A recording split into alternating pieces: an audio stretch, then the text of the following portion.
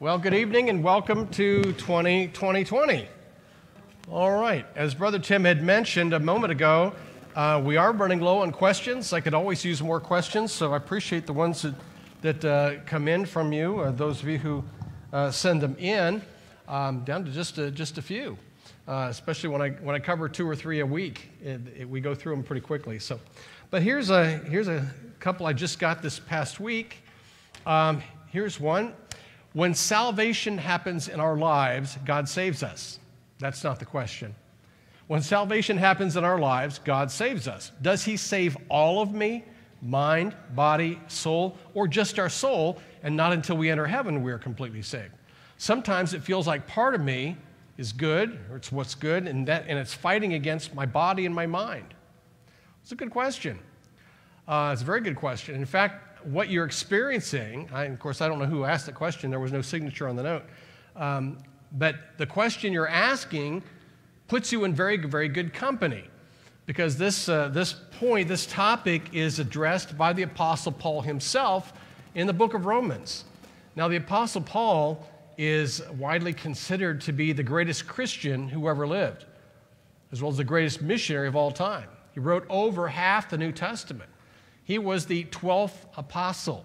Now, there were 12 originally. Remember, Judas uh, killed himself and he needed to be replaced, and the Lord chose Paul to be the 12th apostle. There's only 12. There have only been 12. There will never be more than 12. And Paul was one of those 12. And yet, Paul felt like and went through the exact same thing that you, the writer of this, uh, this note, this question asked. So in Romans chapter 7, I'm going to ask you to turn there with me. We're going to read a portion of this passage together. We're going to talk about this a little bit. Romans chapter 7 page 177.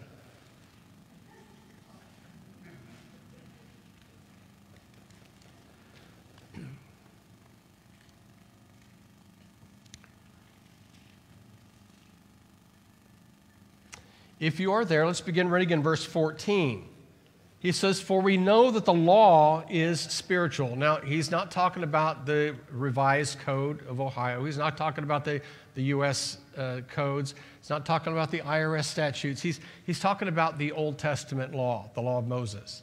That's what he means. For we know that the law is spiritual. But I, he said, am carnal, sold under sin. For that which I do, and I'll follow along closely because this gets a little convoluted and hard to follow. You have to think about it as you go through it.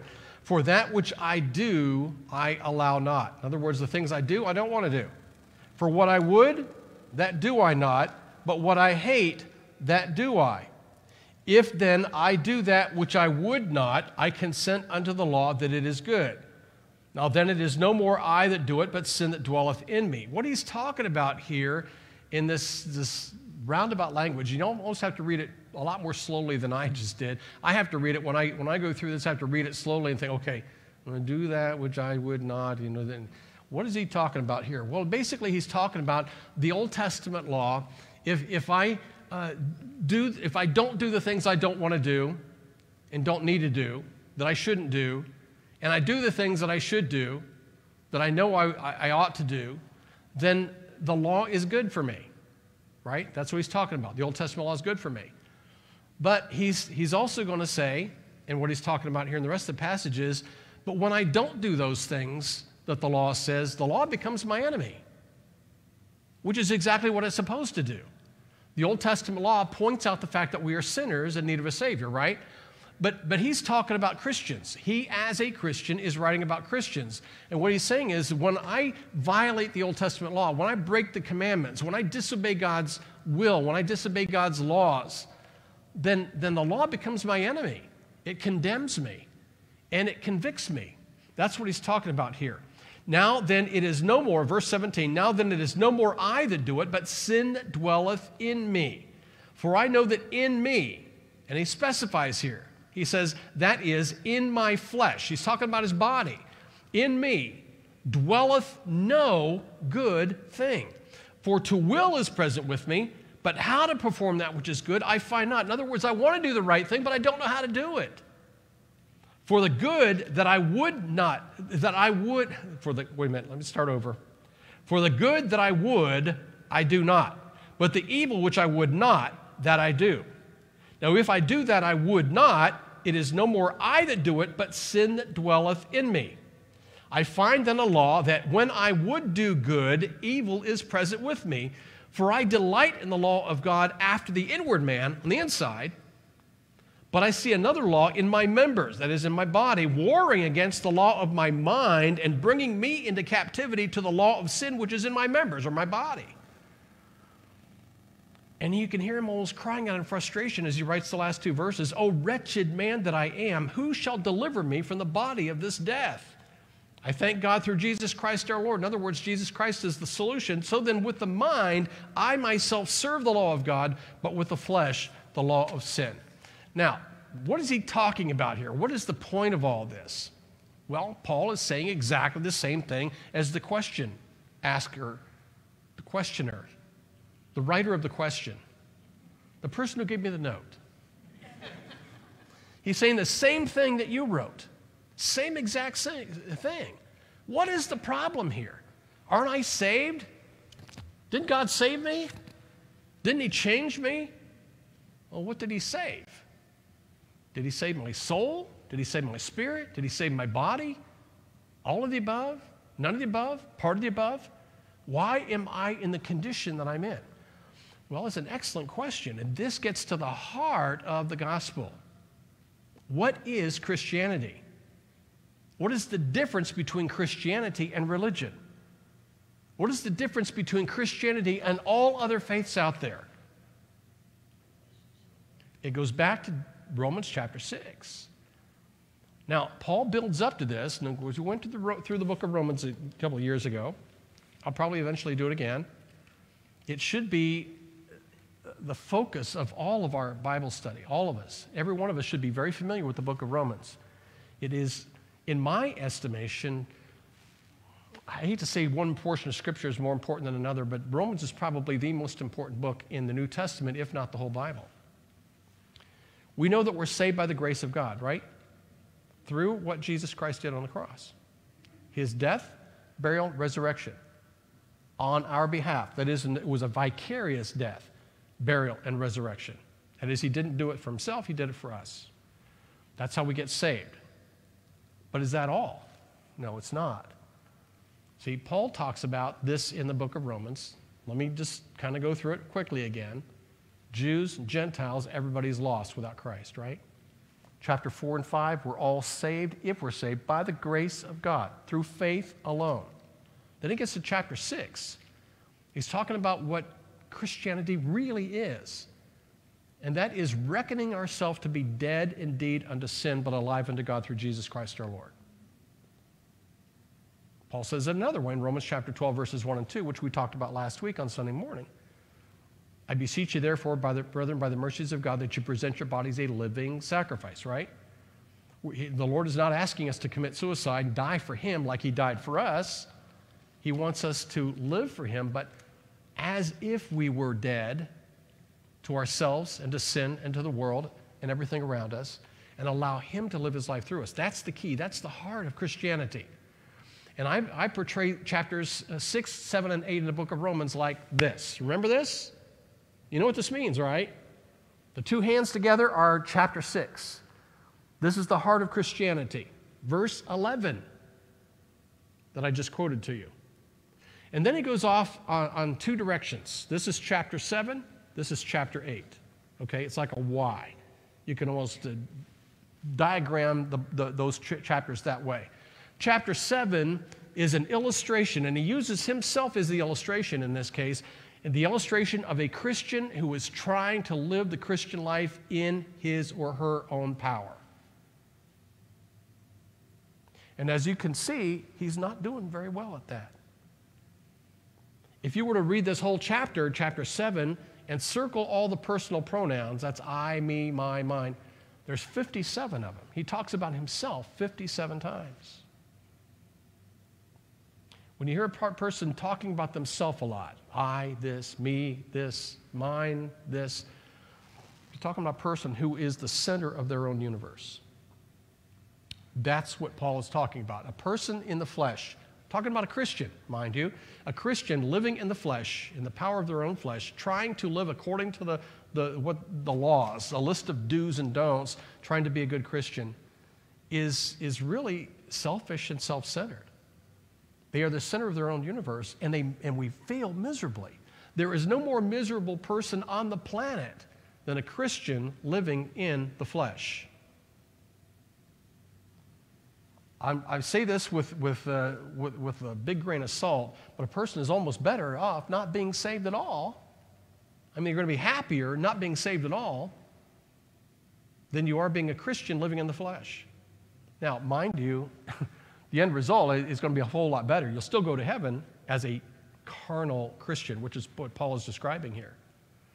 An unsaved person will never get to heaven, right? So you'll still get to heaven, but you're going to be miserable until you get there. Okay? Now, on the other hand, literally, pun intended, okay? Over here, chapter 6, here's chapter 8. The personal pronouns go away. No longer does he talk about I, me, my, mine. Now, the, the repeated word in that chapter is spirit. He's living according to the spirit. The spirit is controlling his actions. Okay? Chapter 6 is the key. Chapter 7 is a Christian living in the flesh. Chapter 8 is a Christian living in the, in the, in the spirit. Now, what's all that got to do with the question? What does God save when we get saved? Uh, our, our mind, our, our, our body, our soul? Well, there are three parts to us, okay? Going back to Genesis, when God created man and woman in his own image, Genesis chapter 1, verse 26 and 27, he created them in his own image. Which one of them looked like him?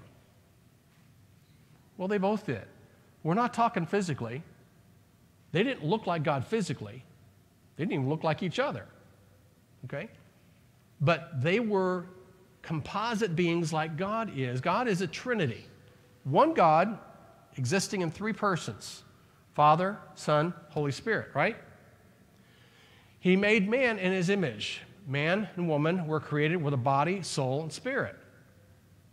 Two parts spirit, one part physical. Two parts spirit, one part physical. We are made with a, with a spirit and soul, that's the spiritual part, and a body, the physical part. God, the triune God, consists of God the Father and God the Holy Spirit, who are both spiritual beings and God the Son, who is a physical being, always was, always will be. That's hard for some folks to comprehend. Jesus Christ always had a body, not just when he was born in Bethlehem, but always, always will have. Okay? Now, you and I consist of body, soul, and spirit. Now, when Adam and Eve sinned against God in the Garden of Eden, Genesis chapter 3, God had already warned him in Genesis chapter 2 In the day that thou eatest thereof, thou shalt surely die. You've heard me say this many, many times. He didn't drop dead physically that day, he kept breathing, but something died within him. That's the spiritual part of him. The spirit died within him. No longer did he have that close relationship with God. No longer did he want to be with God, fellowship with God, walk with God, talk with God. No longer did he enjoy God. At the moment he sinned, he began being afraid of God. He began hiding from God. Which is why uh, when Genesis chapter 5 comes along and we see the genealogy of Adam, we see that the children of Adam were not born in God's image, they are born in Adam's image. And it specifically says that Adam's image. That is, they were born with a body and a soul and a dead spirit. That's how all of us were born. That's why the Apostle Paul says in Ephesians chapter 2, verse 1, and you hath he quickened who were dead in trespasses and sins. Okay? Now, what I'm saying here is that when you got saved, did God save your soul? Absolutely. That's the part of you that is really you. That's the part that's missing when you go to the funeral home and see somebody lying in the casket. You say, Hello, George and he doesn't say anything back. How you been, George? He acts like you're not even there. Offer him a, a Pepsi. Offer him a beer. Show him a pornographic picture. Show him a picture of your grandkids. Nothing you do to, to, that, to George is going to, going to move him or get any reaction from him, right? Because he's dead. He's actually not there. Only his body, his soul is gone. Right? Okay. The soul is what God saves when you get saved. Okay? And that is where your, the real you is, the, your mind, your, your reasoning ability, your emotions, your ability to make decisions, plan things out. That is the real you. That's what God saves. Now, the spiritual part of you, your spirit, is what God quickens. I just mentioned that in Ephesians chapter 2 verse 1. That was there, but it was dead. No more alive than this chair right here.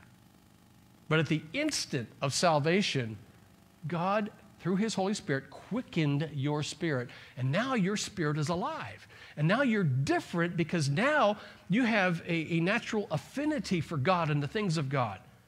There's a natural desire to know God, to want to be with God, to, to want to know His Word and, and love His Word and love His people and love His work. That changes instantly. And you see it in people who really get saved. Something's different about them now. Now they want to come to church. You don't have to beg them to come to church. You don't have to beg them to, to want to know God's word. There's a hunger for God's word. You experienced it in your own life. I experienced it in mine. All of a sudden, I wanted to go to church. I wanted to hang around Christians. I wanted to know God's word. Nobody had to force that down my throat. In fact, you can't force it down somebody's throat. Contrary to what our enemies like to say, forcing your religion down their throat. Well, I don't force religion down anybody's throat. I don't force religion down my throat. I hate religion. You know that, right? If a person's saved, they're going to want to do all those things. It's natural. so that is the other part of salvation. God saves your soul, He quickens your spirit. What about your body? Did you notice any change in your body after you got saved? I've noticed a lot of changes in my body after I got saved, and none of them are good. God did not save your body. Okay? Uh, so, so, what is the point of salvation? I mean, why, why leave it half done? Well, there's an element of salvation that we don't often talk about. Uh, the Lord talks about it in in Ephesians 4:30, and he talks about it in, in a couple other places as well. When he talks about the fact that when we got saved, we were sealed with the Holy Spirit. And the idea there, and it's used in a couple of other places, that God has given to us the earnest of His Spirit. And that word is the same word that real estate agents use when they talk about a real estate purchase. When you buy real estate, generally you sign a contract to buy that real estate, and in order to seal the contract, you have to give the the buyer, the seller, excuse me, a check, a small amount of money, uh, might be $500 or something. Uh, it could be a, a, quarter of a million dollar property, but you only give them a, like a $500 check. That's called earnest money. You're giving them some money because you're saying, I mean what I say in my offer. I, my offer is serious. I'm really interested. Here's proof of it. Okay? It means you're intending to go through with the sale and buy the property. God does the same thing. We are bought with a price. You know that term, right? We're bought with the price of Jesus' blood and body. The Lord died on the cross because He loved you and me.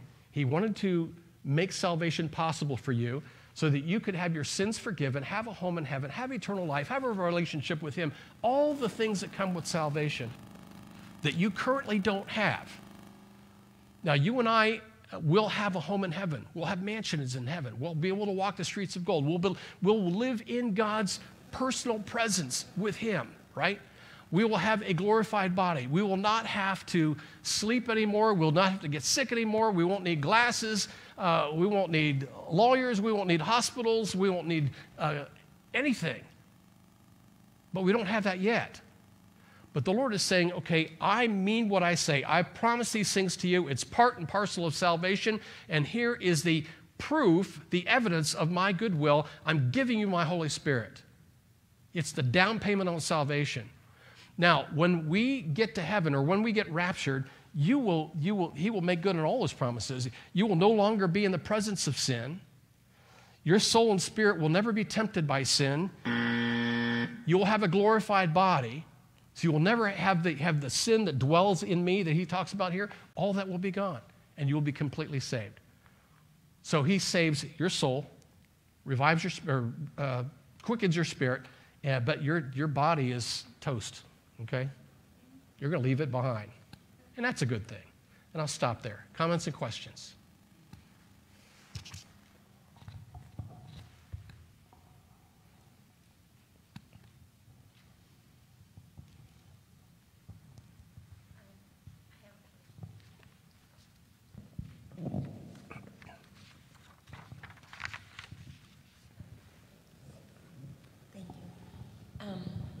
So the body that goes back to the dust, um, so when God talks about giving you a new body, when we go to heaven, that's why, that's why, um, this body goes back to the dust, because God's gonna give us a new body. Right.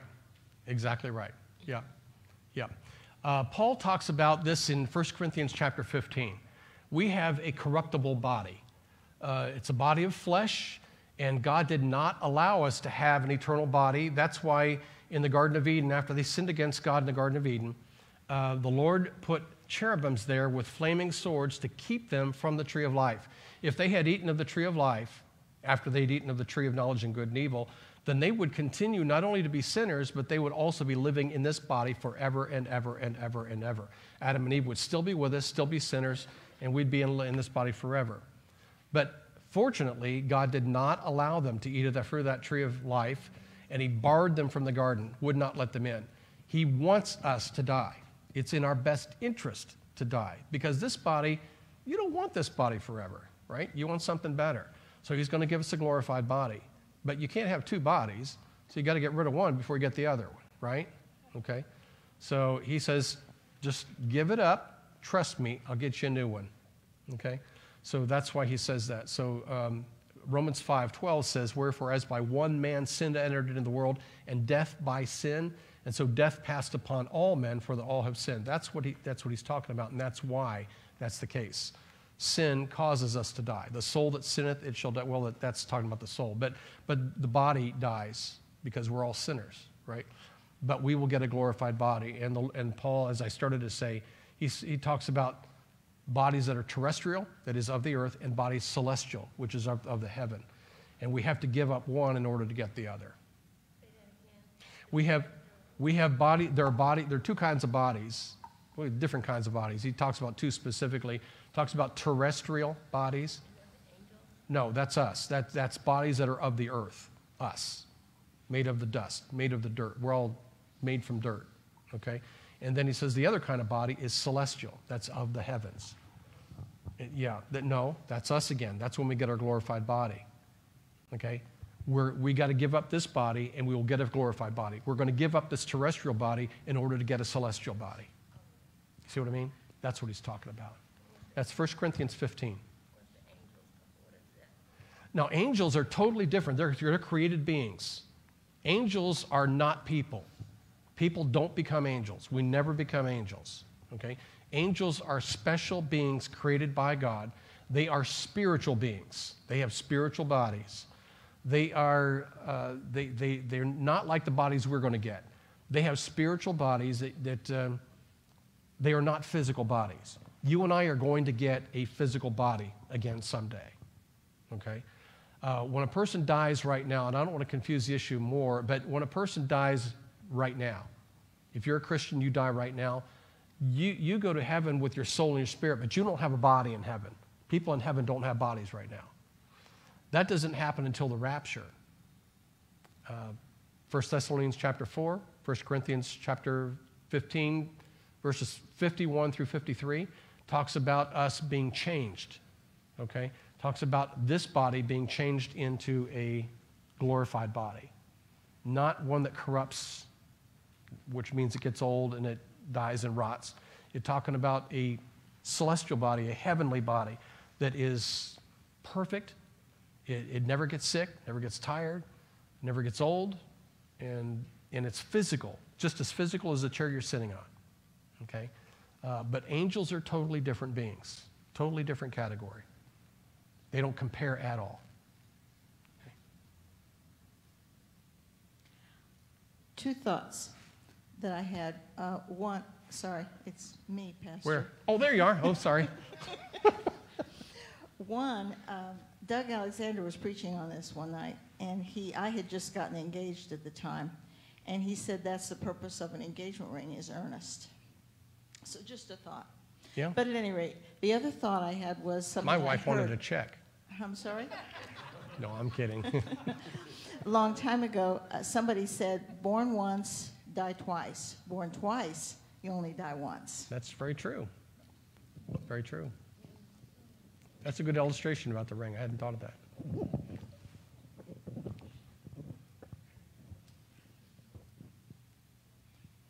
They asked in the chat, uh, do or can angels die? Um, that's an interesting question. Let me answer it this way uh, Can angels die? We have to define the word death in order to do that. When we think of death, we have a tendency to think that someone who dies doesn't exist anymore. You have to think in terms of, of, of separation. Death is actually a separation. Uh, when your loved one dies, they don't cease to exist. They're just separated from you. They're no longer in the land of the living. And that term is, is used in Psalm 116. Um, talking about us being in the land of the living here, and when we die, we're no longer in the land of the living. Of course, some have also pointed out that, that this, this is the land of the dying, and when you die, you're actually in the land of the living if you're saved. So uh, you can look at it either way. But death means separation. Uh, so when a person uh, dies physically, they are separated from other people who are living in the flesh. But the second death that you were talking about in, in Revelation chapter 20 is the second death, and that's a spiritual death. It's an eternal separation from God in a physical place called hell. And that is eternal death, which means eternal separation from God. So when you talk about do angels die, I'm going to say yes if you think of death as a separation, because the angels that sinned against God, some are there already, already in a place called Tartarus, uh, a place uh, it's a seems like a separate area of hell that is reserved for them, and they're not going to get out. They've been there since Genesis chapter six, and they will never ever get out. But there are a whole lot of other fallen angels wandering the earth, including Satan himself. But in Revelation chapter 20, at the great white throne judgment, they will be judged along with all the lost people who have ever lived on this earth or will live on this earth. And they will be cast into the lake of fire. This is the second death. That's the definition of it. Those people will continue to have consciousness, they will continue to have memory, they will continue to have feeling. And this will happen through eternity, but they will be dead in the sense they are eternally separated from God and from us, the saved forever and ever and ever. So, do angels die? Yes. But not in the sense that you would, you would think that, oh, they don't exist anymore.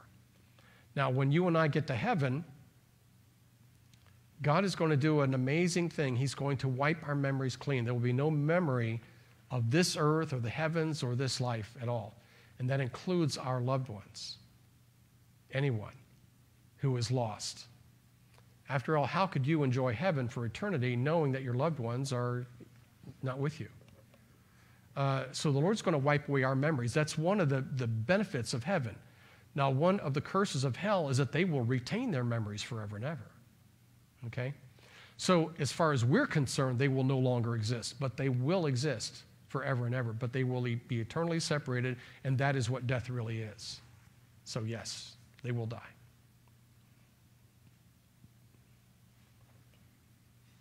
Forty-five second question.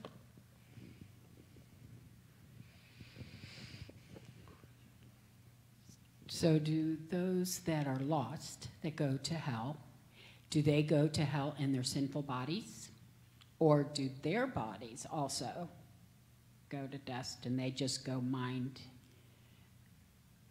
That's a very good question. soul. That's a very good question, and I'm not sure how to answer that, especially in 15 seconds. But um, they do not get glorified bodies. They will have bodies of some kind. What I'm not sure of is what the, the form of that body is going to be. Um, angels have spiritual bodies, as I've mentioned before.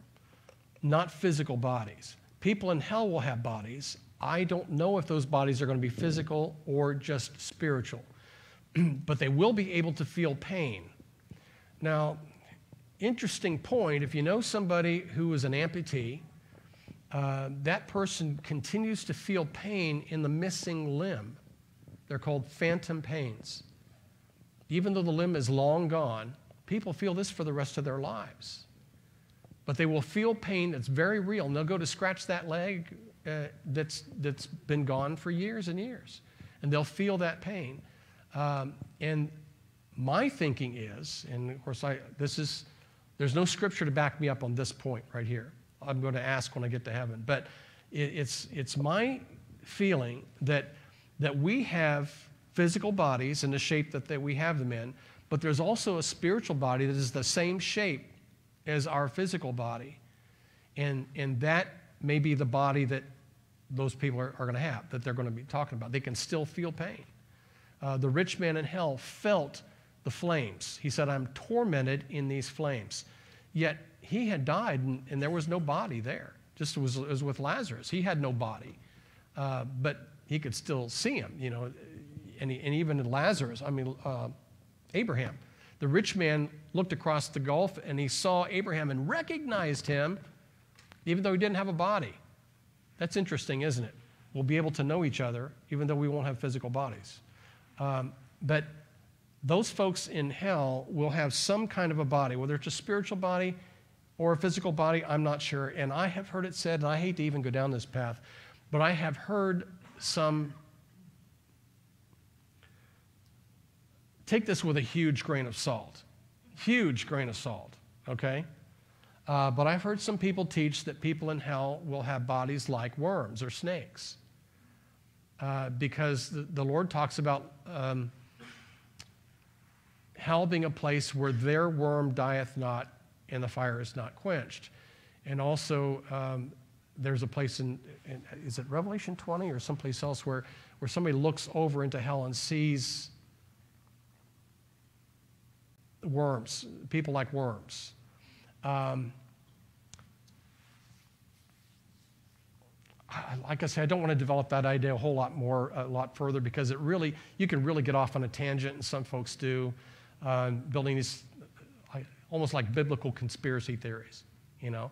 Um, but like I say, take it with a lot of salt. But there's some who teach that they have physical bodies that look like worms because they're, they don't deserve to have bodies that look like God's image, okay? Of course, I, I think God's image is different than what they say, but, but, but uh, I do believe they will have some kind of a body.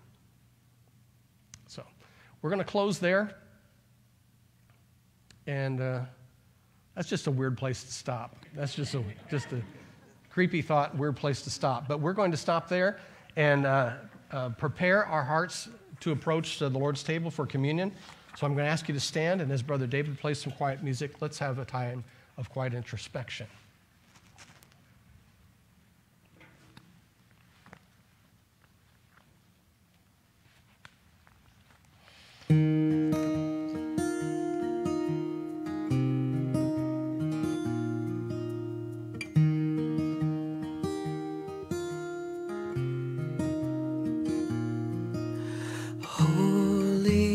Uh.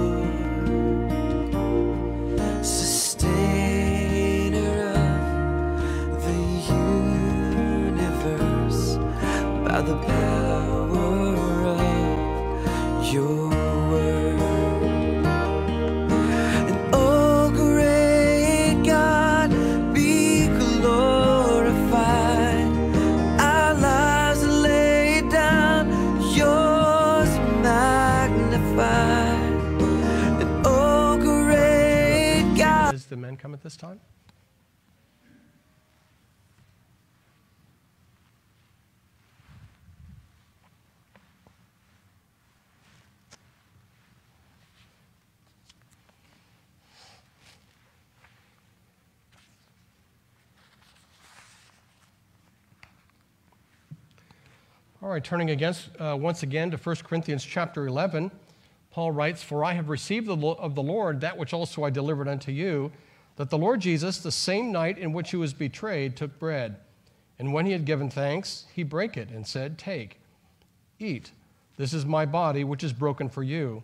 This do in remembrance of me. After the same manner also he took the cup when he had supped, saying, This cup is the New Testament in my blood. This do ye as oft as ye drink it in remembrance of me. For as often as you eat this bread and drink this cup, you do show the Lord's death till he come.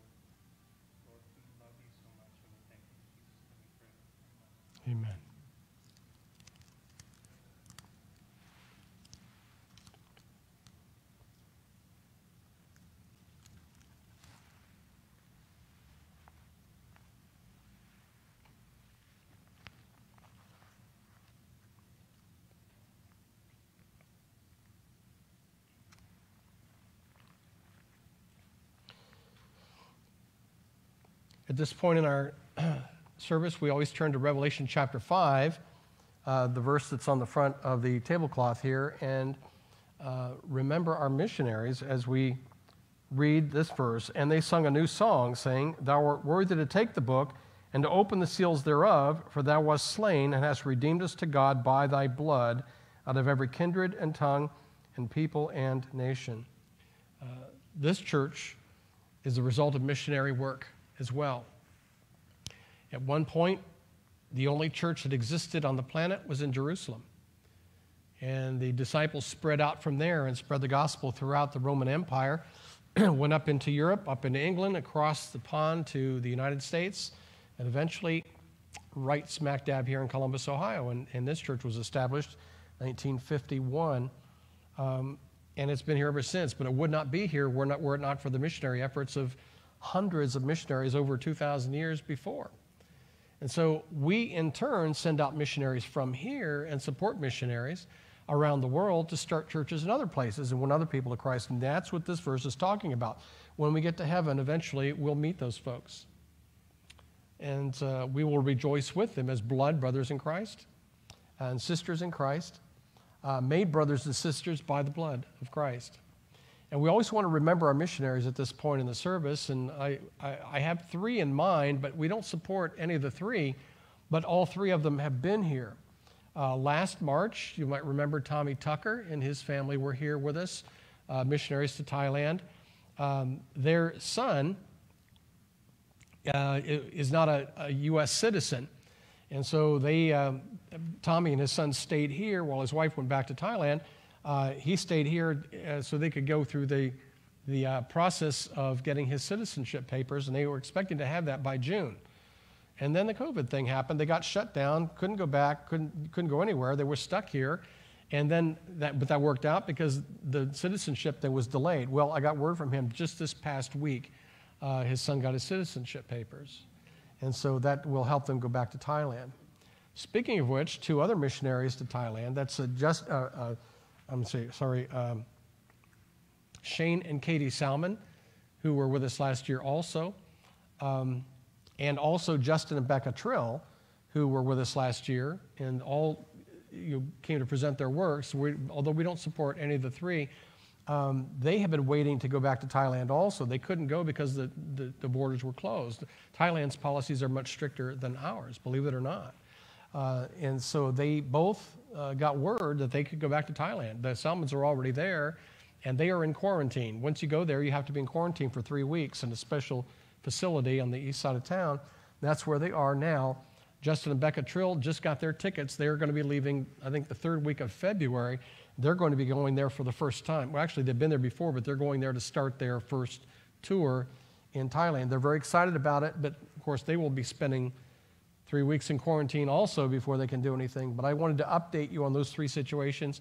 Remember to pray for them uh, the Tuckers, the Salmons, and the Trills as they go back to continue their ministry. And what that lets me know and lets you know is that things are starting to open up in different countries around the world. So that's a good thing.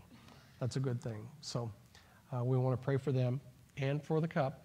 And Brother Tim, I'm going to ask if you'd lead us in prayer for that, please.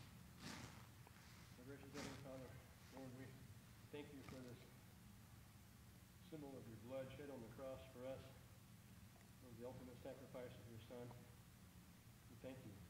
Lord, we also want to lift up uh, the Salmons, the Trills, and the Tuckers, Lord, that you would continue to keep them safe and provide their needs and, and watch over them and, and keep them safe as they continue to do your work in different parts of the world. Lord, again, we thank you for sending your Son to shed his blood on that cross for us. In Jesus' name we pray. Amen. Amen.